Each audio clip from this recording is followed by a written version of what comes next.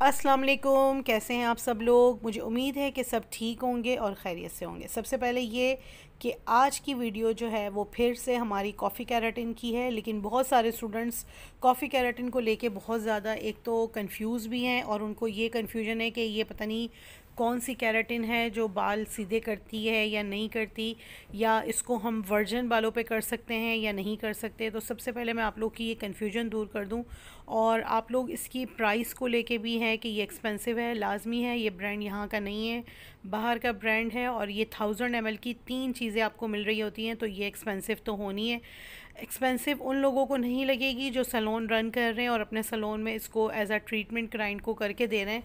क्योंकि नॉर्मल से normal salon जो है वो, कोई अगर आम सी प्रोडक्ट भी यूज़ करता है तो वो टेन थाउज़ेंड प्लस जो है कैरेटिन के लेता है। और अच्छे ब्रांड के साथ तो टेन टू फिफ्टीन थाउज़ेंड आराम से लेता है। तो ये तो जस्ट आपका दो क्लाइंट का जो है बजट है जिससे आपको थाउज़ेंड एमएल की किट मिल जाती है। आप सबसे पहले अपने माइंड से ये चीज़ निकाल दें कि इतनी महँगी क्योंकि सुनते ही आपको लगता है कि इतनी महँगी लेकिन इससे आप लोग जो है फ़िफ्टीन टू ट्वेंटी जो ट्रीटमेंट्स हैं वो कर सकते हैं। अब आप ये बाल देख सकते हैं ये बाल कोई हाईली ट्रीटेड कलर नहीं है। आ, ये भी मेरी क्लाइंट थी और ये रिबॉन्डिंग के लिए आई थी लेकिन ये क्या करती हैं इनके बाल जो है ना वो बहुत ही ज़्यादा पतले और जो है ना, उनमें वॉल्यूम नहीं था। तो मैंने उसको कहा कि तुम रिबॉन्डिंग ना करवाओ, तुम कैराटिन करवाओ ताकि बालों में वॉल्यूम भी आ जाए और थोड़ी जान भी आ जाए। तो कैराटिन जो हमारी कॉफ़ी कैराटिन है, उसको करने का तरीका यही है कि सबसे पहले आपने उसके प्री शैम्पू से उसको वॉश करवाना है। वो उसका पहला स्टेप है। वो आपने मस्ट करना है। अगर आप एक ही ब्रांड की तीन चीज़ें लगाते हैं और फिर काम करते हैं तो आपको डेफिनेटली उसका रिज़ल्ट हंड्रेड परसेंट मिलता है और अच्छा मिलता है। और प्रोफेशनल सलोन्स में हमेशा इस तरह से काम करना चाहिए कि उनके पास सारी रेंज मौजूद हो। हेयर के अकॉर्डिंग हर चीज़ हो। मेरी जो ये क्लाइंट है, ये मटालिक डाई लगाती हैं फ्रंट से गार्नियर का क्योंकि ग्रे कवरेज है और इनकी बैक से भी थोड़ी ग्रे कवरेज है तो वो वहाँ पर भी डाई लगाती हैं। जब आपका बाल फाइन हो और आपका बाल पतला हो और ट्रिटेड यानी ट्रिटेड से मतलब है कि ग्रे कवरेज भी आपका क्लाइंट करता हो और बाल रूखा हो और बालों में जान ना हो और उड़ा उड़ा लगता हो। कैराटिन जो होता है, वो बालों को 100 परसेंट स्ट्रेट नहीं करता। कैराटिन 7 टू 80 70 टू 80 परसेंट जब बालों को स्ट्रेट करता है ना तो बालों में वेट आ जाता है। बालों में वेट के साथ साथ बालों में शाइन आ जाती है, क्योंकि जो मटेरियल शैम्पू करने के बाद आपने बालों को 100 परसेंट ड्राई करना है 100 परसेंट। उसके बाद स्टेप टू आपने लगाना है। जो मटेरियल मैं अभी इसके बालों में लगा रही हूँ ना, वो लगाने के बाद मैंने उसको अच्छे तरीके से कॉम से ब्लेंड करना है। ब्लेंडिंग क्यों करनी है? ब्लेंडिंग इसलिए करनी है कि आपका कोई भी बाल रह ना जाए और आपका बाल अच्छे तरीके से प्रोडक्ट जो है उसमें पेनिट्रेट हो जाए। उसको ब्लेंडिंग करने के बाद आपने उसको पहनानी है शावर कैप और अगर कोशिश करें कि इन बालों पर हवा ना लगे, आप सीलिंग शीट से रैप भी कर सकते हैं शावर कैप पहनाने के बाद। और फिर आधे घंटे के बाद आपने ये प्रोडक्ट लगे हुए बालों में ड्राई करना है। कैराटिन क्यों आपके बालों के लिए बेस्ट है? क्योंकि कैराटिन एक ट्रीटमेंट है। ये आपके बालों के अंदर पेनिट्रेट किया जाता है। इसको वॉश नहीं करवाया जाता। इसको आपने ड्राई करके फिर ब्लो ड्राई करना है अच्छे तरीके से। अब आप देखें इसके बालों की हर स्टेप के बाद ज़रा लुक देखते जाइएगा कि अभी ये जो मैंने इस पर ट्रीटमेंट लगाया था, उसको मैंने वॉश नहीं किया।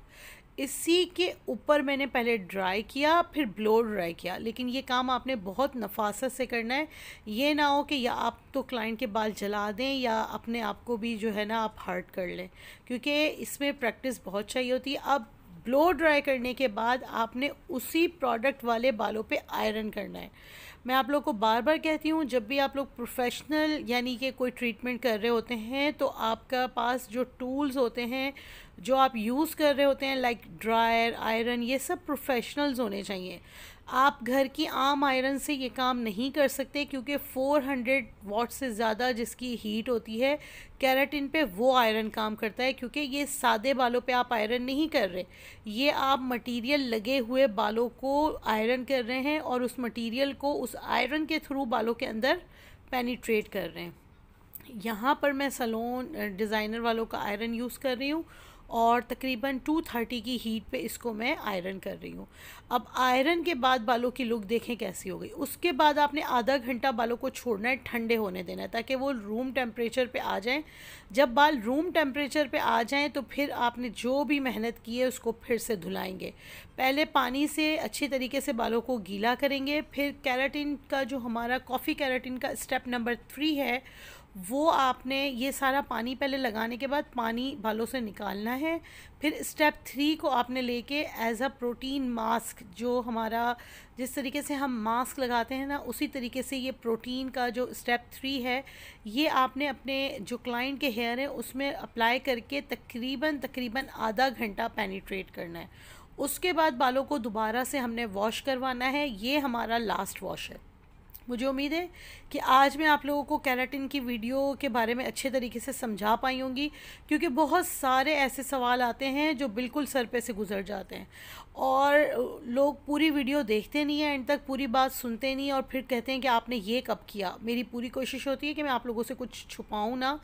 उसके बाद मैंने इसको ड्राई करने के बाद एक फ़ाइनल लुक आयरन की देनी है।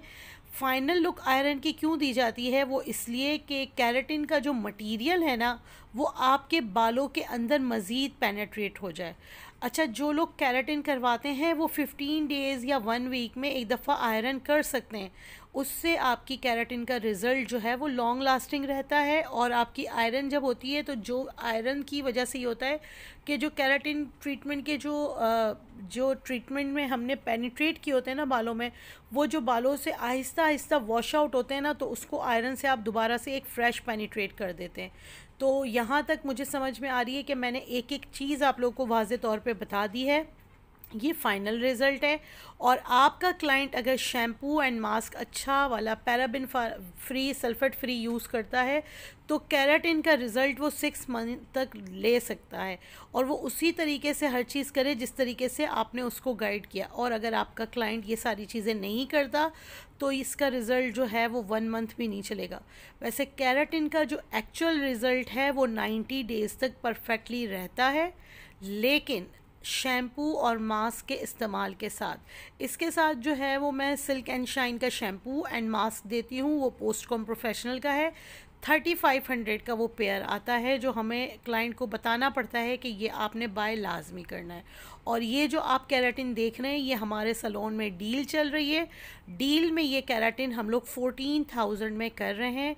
आप लोगों को प्राइस इसलिए बता रही हूँ कि आप लोग हमेशा एक सवाल करते हैं कि ये आपके पार्लर में कितने का होता है। तो मैंने सोचा कि जो डील्स चल रही हैं, वो डील्स के हवाले से जो जो काम मैं कर रही हूँ, वो आप लोग के साथ शेयर करूँ। मुझे उम्मीद है कि आज की ये वीडियो आपको लाजमी अच्छी लगेगी और पसंद आई होगी। तो जो लोग मेरे चैनल पर न्यू हैं और पहली दफ़ा वीडियो देख रहे हैं तो उनसे रिक्वेस्ट है कि चैनल को लाजमी सब्सक्राइब करें और वीडियो को लाजमी शेयर करें। Thank you.